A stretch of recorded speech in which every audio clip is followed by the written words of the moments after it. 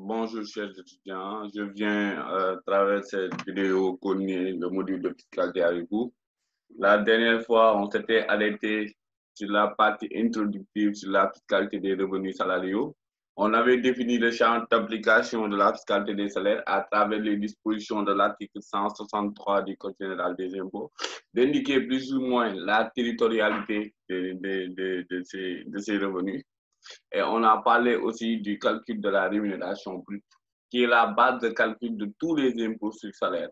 Parce qu'on avait dit que la fiscalité des salaires regroupait trois, trois types d'impôts. Il y a l'impôt sur le revenu et la trimpe il y a l'impôt sur le revenu et la trimpe supportée par le salarié, mais il y avait la CFC qui était supportée par l'employeur. Donc, euh, tous ces impôts sur salaire sont calculés à partir de cette rémunération brute. Et on avait dit que la rémunération brute regroupe l'ensemble des revenus perçus par le salarié, ainsi que les avantages en argent et en nature. Donc, il y a les avantages en nature aussi qu'il faudra prendre en compte dans le calcul de la rémunération brute. Maintenant, ce qu'il faudrait aussi comprendre, c'est que cette rémunération brute, c'est le salaire de base, plus le salaire, les heures supplémentaires, plus les primes et indemnités imposables et les avantages en nature. Et pour les primes et indemnités, on avait dit qu'il y avait des primes et indemnités qui étaient exonérées et il y avait des primes et indemnités qui étaient imposables. Et il fallait juste intégrer dans la base de calcul de la rémunération brute que les primes et indemnités imposables. Une prime exonérée, a priori, ne doit pas être intégrée dans la base de calcul de la rémunération brute. Ça aussi, c'est quelque chose d'extrêmement important à retenir. Aussi, ce qui est aussi important à retenir, c'est que euh, cette rémunération, il y a les avantages en nature qui ne sont pas des, de l'argent que le salarié perçoit. Ce sont un certain nombre de commodités dont bénéficient les salariés qui ne sont pas en argent mais en nature. C'est-à-dire c'est un salarié, c'est la société qui paye ses factures d'eau, d'électricité et de téléphone, c'est un salarié ou c'est la société qui, qui, paye son loyer, etc. Et ces, avantages en nature, on avait dit, étaient évalués de manière forfaitaire suivant un barème fixé par un arrêté ministériel. Maintenant, cette rémunération brute, c'est ça qui va nous permettre de calculer tous ces impôts sur salaire. Et le, le premier impôt qu'on va calculer, c'est ce qu'on appelle l'impôt sur le revenu. Mais l'impôt sur le revenu se va se calculer à partir du revenu imposable.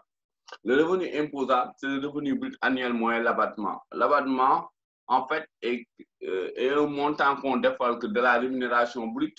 Et l'abattement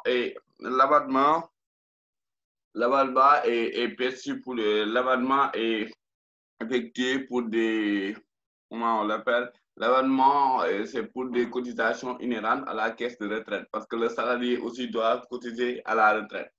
Maintenant, donc c'est revenu brut annuel moins l'abattement. Comment on calcule l'abattement L'abattement, c'est 30% du revenu brut annuel. Mais toutefois, son montant est plafonné à 900 000. Autrement dit, si vous avez un montant, si vous faites 30% de la rémunération brute vous avez un montant qui dépasse 900 000, le maximum d'abattement dont on peut bénéficier, c'est 900 000. Donc, l'abattement ne peut en aucune manière excéder 900 000. D'accord?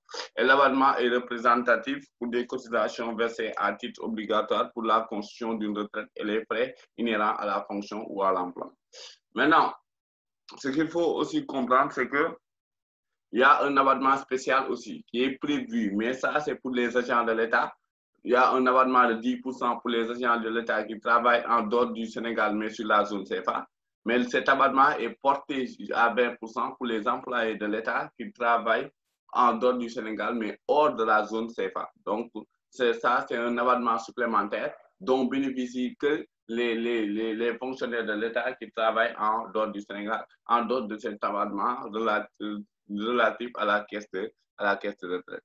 Donc, Normalement, s'il s'agit d'un avion du privé, par exemple, pour calculer son abonnement, vous allez prendre son rémunération brute annuelle, vous le multiplier par 30%. Mais le montant que vous trouvez, il faut toujours vérifier est-ce que ce montant-là ne dépasse pas 900 000. Si le montant dépasse 900 000, vous le ramenez à 900 000. L'abattement, son maximum, le maximum d'abattement dont on peut bénéficier un salarié annuellement, c'est 900 000. Maintenant, comment on va calculer l'impôt sur le revenu? Pour calculer l'impôt sur le revenu, on va prendre le revenu imposable arrondi au milieu inférieur qu'on va appliquer au barème progressif. Donc, on va prendre le revenu imposable. Ce revenu, on va l'appliquer sur le barème progrès, progressif. Et comment on va, on va, ça va se faire? Et comment ça va se faire? Donc, vous allez prendre le revenu imposable et vous l'appliquer au barème progressif. Et ce barème est prévu, ce barème progressif, c'est pour les calculs relatifs à la, euh, pour la fiscalité, toute la fiscalité des personnes physiques. Donc, pour calculer l'impôt sur le revenu, on prend le revenu imposable arrondi au milieu inférieur et soumis au barème progressif. Et le barème, c'est comme ça, 0 à 630 000, 630 000, 1 million 500, 1 million 500, 4 millions, 4 millions, 8 millions, 8 millions, 13 millions 500 et plus de 13 millions 500. Et les taux applicables sont fixants. Ça, c'est un barème dicté pour l'imposition des personnes physiques. Maintenant, comment on va appliquer sur ce barème? Comme son nom l'indique, c'est un barème qui est progressif. Un barème progressif signifie que vous payez l'impôt par tranche jusqu'à ce que vous, atteigniez le revenu imposable. Donc, on paye l'impôt par tranche, 0 à 630 000, 630 000, 1 million 500, jusqu'à ce qu'on atteigne le revenu imposable. Donc, la démarche, elle est étagée. Donc, vous commencez par la première tranche jusqu'à ce que vous atteigniez la tranche qui concerne votre revenu imposable. Maintenant, après avoir calculé ces, impôts par tranche, on les cumule pour avoir l'IR partiel. Pourquoi l'IR partiel? Parce que l'article 171 du Code général des, impôts nous dit que cette IR-là est susceptible d'être réduit. Et cette réduction dépend de votre charte de famille. Et la charte de famille dépend de votre situation matrimoniale. Est-ce que vous êtes marié? Oui. Vous avez, euh, vous avez des enfants? Oui, etc. Donc, après avoir calculé l'IR partiel, il faut calculer la réduction d'impôt. S'il y en a, parce que vous allez voir que sur le barème de la réduction d'impôt, un célibataire, une passe et un célibataire, il y a 0% de réduction d'impôt. Parce qu'on se dit a priori qu'un célibataire n'a pas de charge de famille. Parfois, ça peut être paradoxal, mais aujourd'hui, on ne peut pas appliquer un cas particulier sur le cadre général. D'accord? Donc là, le nombre de parts dépend de votre situation matrimoniale. Quand vous êtes célibataire, vous avez une part. Quand vous, avez, vous êtes marié, vous avez une part et demie. Mais chaque enfant en charge donne 3 à 0,5 part. Donc, si je suis marié, j'ai 1,5 part. Si j'ai un enfant, j'ai 0,5 part supplémentaire, un autre enfant 0,5. Et si le nombre de parts augmente, j'ai plus de charges de famille et je paye moins d'impôts. Donc, parce qu'on réduit plus. Plus que j'ai nombre de nombre de parts, plus le taux de réduction d'impôt augmente. Si vous avez bien vu, à 1,5 par, j'ai 10% de réduction, c'est-à-dire on peut réduire mes impôts jusqu'à 10%, mais si j'ai par exemple 5 parts, on peut réduire mes impôts jusqu'à 45%. Et le nombre de parts maximum, c'est 5 parts. Même si je calcule, je trouve 10 parts, je le ramène à 5 parts. Un salarié ne peut pas bénéficier plus de 5 parts. Si vous avez même vu le barème, le barème ne dépasse même pas 5 parts. Donc, c'est ça. Maintenant, quand je suis marié, j'ai une femme et ma femme ne travaille pas, c'est 0,5 part supplémentaire. Maintenant, si j'ai deux femmes qui ne travaillent pas, j'ai 0,5 part pour l'ensemble des deux femmes. Au regard de l'IR, le droit fiscal est un droit monogame. On regarde la première épouse sans revenu. Si votre première épouse est sans revenu, on vous donne 0,5 part. Mais même si la deuxième est sans revenu, ça ne vient pas varier ce, ce, nombre de parts. D'accord? Mais les enfants, on les prend toujours en charge. Toujours en charge, 0,5 supplémentaire. Et l'enfant, on le prend en charge normalement jusqu'à 18 ans, mais lorsque l'enfant poursuit des études scolaires universitaires, on peut le prendre jusqu'à 25 ans, mais c'est tributaire au dépôt d'un certificat de, scolarité. Maintenant, on va essayer d'illustrer le calcul de l'impôt sur le revenu à travers cet exemple. On a dit que le directeur, le directeur commercial de Bernabé dispose des revenus ci-après au titre du mois de novembre 2017. Salaire de base, sur salaire, prime d'ancienneté, prime de sollicite, prime de transport. Ce monsieur dispose parallèlement d'un loyer de deux pièces à Dakar. La société prend en charge sa facture d'eau. Les mariés polygames, dont, dont trois époux, dont l'une salariée et trois enfants, dont l'un a 23 ans et étudiant à, étudiant à l'université. Calculer l'impôt sur le revenu du mois de novembre 2017 de ce directeur financier. On va calculer d'abord le revenu mensuel. On va prendre le salaire de base, le sous-salaire, la prime d'ancienneté, on va prendre ça parce que c'est une prime imposable. Même la prime de salitude, on ne va pas prendre ça. La prime de salitude, c'est une prime exonérée par tolérance administrative.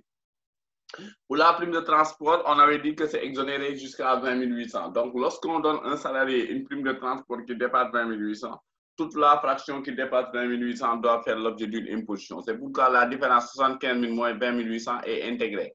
Et Maintenant, il faut évaluer les avantages en nature. Et j'avais dit que les avantages, on les évalue de manière forfaitaire suivant un barème fixé par le ministre chargé des Finances.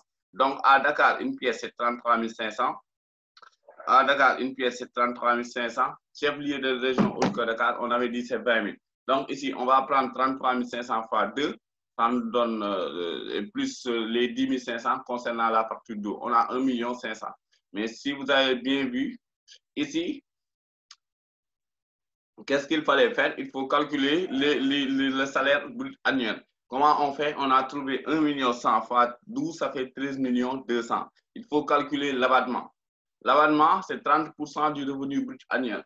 On a vu 30% de 13 millions 200, ça fait 3 millions 960 000. Et l'abattement ne peut pas excéder 900 000, c'est pourquoi on l'a ramené à 900 000. Pour calculer le salaire imposable, on prend le salaire annuel moins l'abattement, ça fait 13 millions 200 moins 12 millions 300 moins 900 000, ça nous donne 12 millions 300. Donc, le revenu imposable, c'est 12 millions 300. Ici, les trois derniers chiffres, c'est zéro, donc on n'a plus besoin d'arrondir. Donc, si vous voyez bien, on calcule le revenu brut annuel, on calcule l'abattement, mais l'abattement ne peut pas excéder 900 000. Maintenant, comment on calcule le revenu imposable? On prend le revenu brut annuel moins l'abattement. Maintenant, pour comment on va faire pour calculer l'impôt sur le revenu? Pour une part.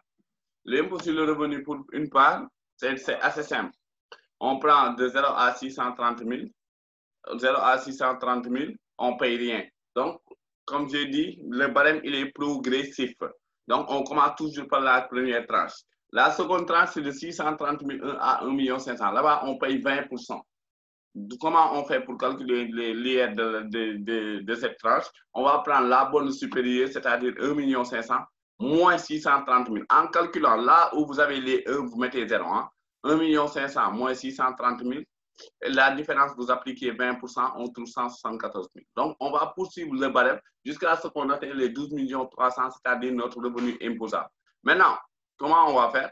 La, la tranche suivante, c'est de 1 500 à 4 millions. On fait la même chose. 4 millions moins 1 500, ça fait 2 500 et on applique 30%, ça nous donne 750 000.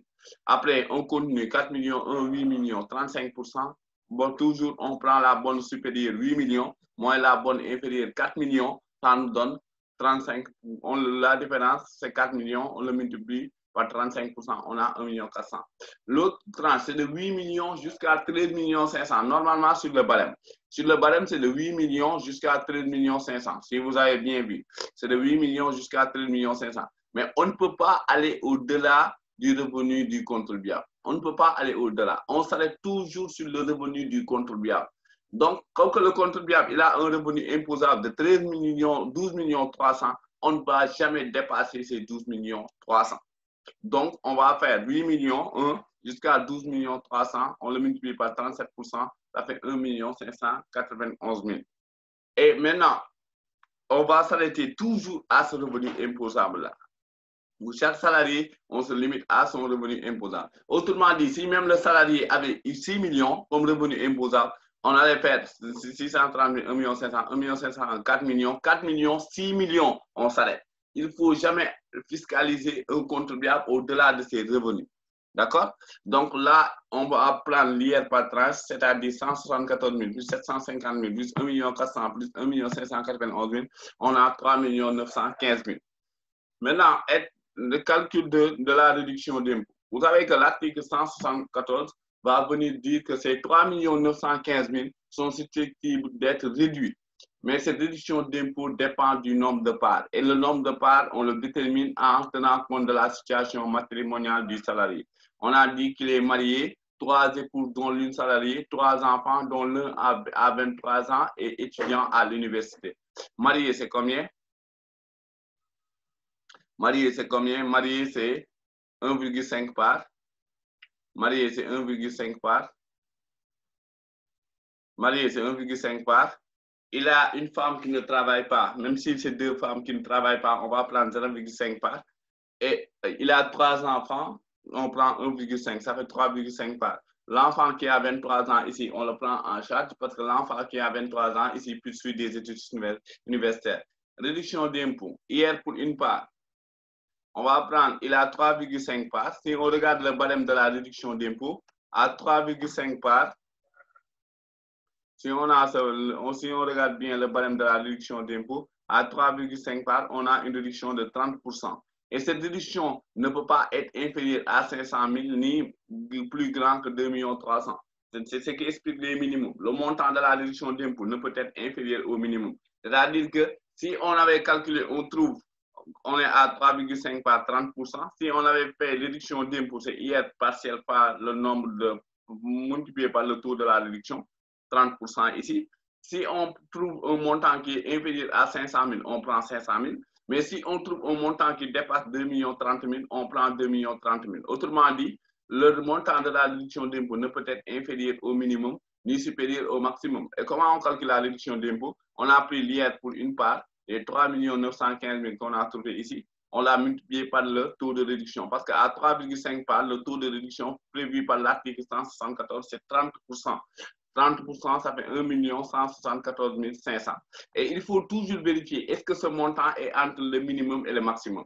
Si le montant était, si on avait trouvé ici à 30%, à 3,5 parts, le minimum c'est 500 000, le maximum c'est 230 000. Si vous avez bien vu, ce montant n'est pas inférieur au minimum ni supérieur au maximum, on peut le prendre. Autrement dit, si le montant là, on avait un montant inférieur au minimum, donc la réduction d'impôt serait égale au minimum. Si le montant était plus grand que le maximum, donc la, la réduction serait égale au montant du maxi, maximum. On est bien d'accord. Donc, comment on fait pour calculer l'IR à payer? On va prendre l'IR partiel, les 3 915 000 moins la réduction d'impôt. Donc, normalement, vous savez, si c'était un célibataire sans enfant, il allait payer 3 915 000 parce qu'on a dit qu'il ne bénéficie d'aucune réduction d'impôt parce qu'à priori, on dit qu'il n'a pas de charge de famille. Mais ici, le gars, il est marié, il a deux femmes qui ne travaillent pas, il a trois enfants. Donc, on a tenu compte de ça. Il a 3,5 parts. On a réduit ses impôts jusqu'à 30%. Et comment on va faire? On va prendre l'IR pour une part on le moins la réduction d'impôt. Ça nous donne 3 millions, 1 million, ça nous donne 1 million 174 500. 3 millions 900, ça nous donne 2 millions 740 500. Maintenant, pour avoir son IR mensuel, ce qu'il doit payer mensuellement, on va prendre l'IR annuel, on le divise par 12, donc il va payer 2 millions 740 500 divisé par 12, ça fait 3 228 375. Donc, voilà la démarche comme comme la qu'on devrait utiliser pour calculer l'impôt sur le, sur le revenu. Maintenant, on y va à la TRIMF. La TRIMF, en fait, est un impôt perçu pour le budget. C'est toujours une taxe supportée par l'emploi, par le salarié, mais perçu pour, pour le compte du budget des collectivités locales. C'est perçu pour le compte du budget des collectivités locales. Maintenant, il y a six catégories de revenus. Hein? première catégorie, voilà l'article 275 nous donne le barème 0 à 699 600 000 à 9, 600 000 à 999 999, 1 million à 1 million 900, 4 millions 800, 2 millions à 6 millions 9, 7 millions à 11 millions et plus de 12 millions, ça fait 36 000. D'accord? Et ils sont exemptés de la triomphe. Il y a des hommes qui ne payent pas, les indigents, les hommes de troupes. On est bien d'accord. Les sous-officiers pendant la durée légale de service, etc. Maintenant, comment on calcule la triomphe? Le mari cotise pour lui-même et cotise pour ses conjoints sans revenu. Et pour la femme qui travaille, la femme qui travaille cotisera pour elle-même. Donc, si on reprend le cas du directeur commercial de Bernabé qu'on avait exposé tout à l'heure, on avait dit qu'il est marié, qu'il a trois époux, dont l'une salarié. Et pour la triomphe, c'est une cotisation qu'on verse. Mais on va cotiser pour qui? Le salarié cotise pour lui-même et pour ces femmes qui ne travaillent pas. La femme qui travaille cotisera pour elle-même. Donc, si aujourd'hui on reprend le cas de, du directeur de Bernabé, lui, il, est marié, il a, il a deux épouses qui ne travaillent pas. Donc, il cotise pour lui-même et il cotise pour ses deux femmes. Mais pour la femme qui travaille, elle cotisera pour elle-même. Et même si la femme travaille et que l'homme travaille, ne travaille pas, la femme cotise pour elle-même et cotise pour son conjoint qui ne dispose pas de revenus. Ça, c'est à travers la loi sur la parité, parce que le législateur, en fait, à, loi, à travers la loi 2008, euh, du 8 janvier 2008, a considérablement modifié le système d'imposition des personnes physiques dans le sens d'une meilleure prise en considération du rôle économique que joue la femme, dont la contribution au charge de ménage est un fait social qu'on ne peut plus occulter. Maintenant, il y a une équité parfaite entre l'homme et la femme sur le plan sur le plan fiscal. Donc ici, on va regarder, il, est, il, est, dans quelle tranche? Son revenu annuel. Si on devait prendre le cas du directeur de Bernabé, il a un revenu annuel de 13 millions 200. Et si vous regardez ici sur le barème, plus de 12 millions, de 13 millions 200, c'est plus de 12 millions. On cotise 36 000, mais les 36 000, c'est pour une personne. C'est pour une personne. Ce barème-là, c'est pour une personne. Donc, il faut calculer le nombre de personnes pour, le, pour, le, pour, le, pour, lesquelles on va cotiser. Donc, c'est 36 000 pour une personne. Donc, comment on va faire? On va faire 36 000 fois 3. 3, pourquoi? Parce que le directeur va cotiser pour lui-même et pour ces deux femmes qui ne travaillent pas. Pour la trim, on ne cotise pas pour les enfants. On cotise pour soi-même et pour ces femmes qui ne travaillent, travaillent pas. Donc, ici, il va cotiser 36 000 fois 3, ça fait 100, 100, 100 et quelques mille. Et pour avoir la trim mensuelle, ça, c'est un barème annuel on prend ce qu'on a trouvé, on le divise par 12. Maintenant, pour terminer sur, les, pour terminer sur, ça, on va passer, on va passer sur la CFC. La CFC, en fait, c'est une contribution versée par l'employeur. C'est l'employeur qui verse la CFC. Et aujourd'hui, tout, tout, tout, toute entreprise ou un organisme qui dispose de salariés a priori doit payer la CFC. Et c'est très simple à calculer, c'est 3% du revenu brut. 3% du revenu brut. Maintenant, il y a certains organismes qui sont exonérés de CFC, l'État et les organismes publics, les organismes publics, parapublics, étrangers ou internationaux, les entreprises bénéficiant de réduction d'impôts pour importation, etc. Et il y a même des entreprises où la convention d'établissement ou la convention de siège prévoit, prévoit qu'elles elle ne doivent pas payer d'impôts au Sénégal au Sénégal. Donc, dans ce cas aussi, on, ne paye pas la CFC. Mais en tout cas, la CFC, c'est une contribution baissée par l'employeur pour chaque salarié, a priori, pour, chaque salarié de son, de, son organisation. Maintenant, c'est 3% du revenu brut. Maintenant, 3% du revenu brut, on peut prendre, comme que c'est, les paiements généralement sont mensuels, on peut prendre 3% du revenu brut mensuel. D'accord? Donc, même si vous calculez l'IR annuel, il faut calculer l'IR mensuel. Si vous calculez la trim annuelle, il faut calculer la trim mensuelle parce qu'il y a ce système de retenue à la, à la source. Et il ne faut pas occulter aussi le fait que Aujourd'hui, ce qui est important aussi de retenir, c'est qu'en fin d'année, il conviendra de procéder à la régularisation de, de l'impôt, de l'impôt sur le revenu. Voilà, c'est à travers ces propos que je vais terminer cette séance visio. On se retrouvera vraiment sur la, sur la, la séance contact pour pouvoir vraiment apporter plus de précision.